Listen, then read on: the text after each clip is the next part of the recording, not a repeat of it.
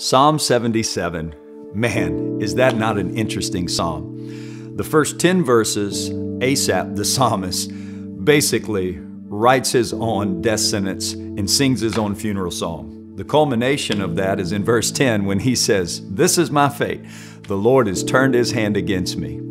Most people feel that way at certain points in life like, man, everything's against me. There's harsh opposition. Things are falling, not in place, but out of place what in the world's going on? This just must be my fate in life. God's even against me. Man, I don't know if you've ever felt that way. Maybe you've even thought that or said that, but I want to give you some good information today.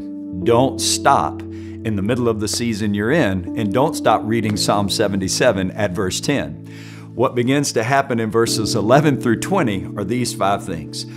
Asaph starts recalling all God has done for him in the former days. What God did in the daytime of his life, he starts bringing it in to the darkest night of his life. Not only does he recall, the Bible says he starts replaying it. Start he starts replaying what God has done over and over and over because in that recalling and replaying, ultimately it brought a reward of the Lord's presence in the middle of his hardship, in the middle of his tough situation. The Lord's reward is recorded there in Psalm 77 as well, where He starts moving in, where He starts shifting, where He starts doing what only He can do.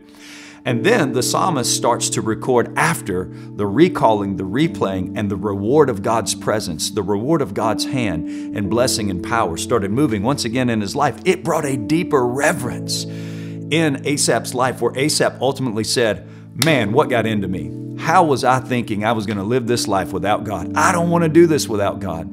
And then Asaph even records that not only did this reverence come in his life, that it produced a renown in the bystanders around him once they saw God's hand moving mightily in his life. I just want to tell you today if you feel like you're at the end of the rope, you're not. I want you to start recalling, replaying until you get the reward of God, and it's going to produce a deeper reverence in your life, and it's even going to bring a renown of the people standing around you, watching you go through what you're going through as they see God moving mightily in your situation.